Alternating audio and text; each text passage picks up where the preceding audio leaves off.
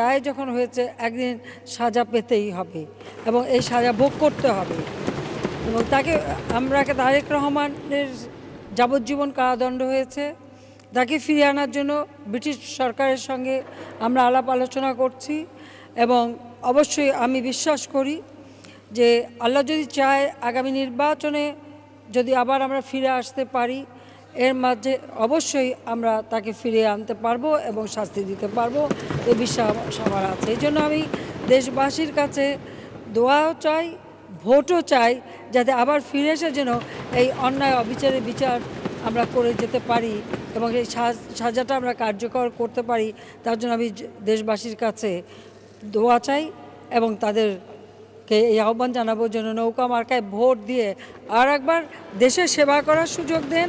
পাশাপাশি এই অন্যায়, অবিচার, জঙ্গিবাদ, সন্ত্রাস, মাদক দূর করে বাংলাদেশের মানুষকে একটু শান্তি, নিরাপত্তা দেবার জন্য সুযোগ আল্লাহ দেয়, সেটাই আমরা চাই।